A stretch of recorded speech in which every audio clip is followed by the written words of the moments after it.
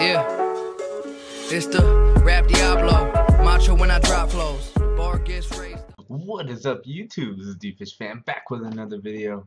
This one we are going to be covering the Inferno Tempest deck that I've been fucking loving these last couple days I've been playing. So let's go ahead and get into the game. So in case you don't know what Inferno Tempest is, it's a deck that utilizes the Inferno Tempest quick play spell where if you take 3000 or more damage at a single time, you can banish all monsters in either in either player's hand or deck, I believe, from play. So, you use cards like Soul Absorption, you use cards like DD Dynamite to combo with that and become a fucking god, let's be honest. So, he opens up with the Odd Eyes Pendulum, bringing two 2500 boss monsters to the field. I simply go Battle Fader. So my Soul Absorption is already played. Switch the Battle Fader to attack mode. Now this is something I want to discuss here.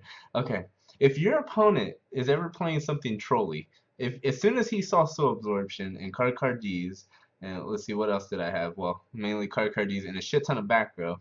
He should know by now that I'm playing something trolly. Sure enough, it's Inferno Tempest. So you gotta assume the worst. If he, if my opponent switched a Battle Fader with zero attack, zero defense into attack position, there's probably something behind that fucking door.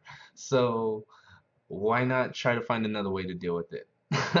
Maybe he thought I was stupid. Uh, let's see how that turns out for him. So we have the Battle Fader in attack mode, three new back rows. He's going to go for the Pendulum Summoning again. He has a Poly in hand. So with Odd Eye's effect, he actually does 5,000 damage to my Battle Fader. More than enough to activate Inferno Tempest, and then the fun ensues. So, all monsters in his deck and his graveyard, I'm sorry, go to the banish section.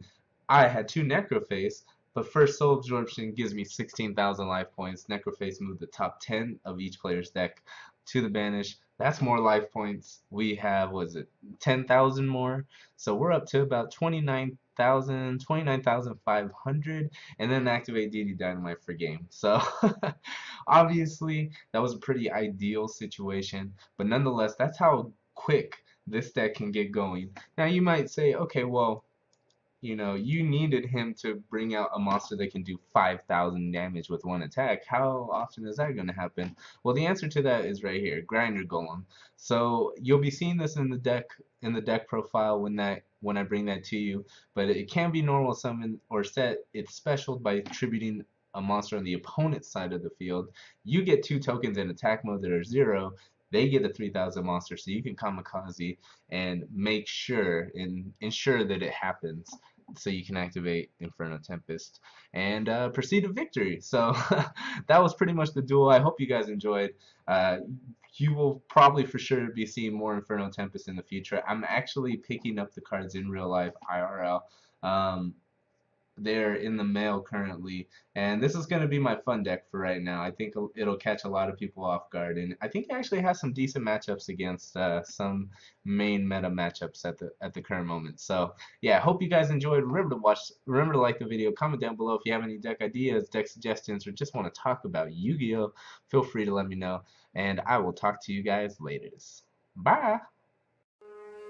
Yeah. It's the rap Diablo. Macho when I drop flows. Bar gets raised.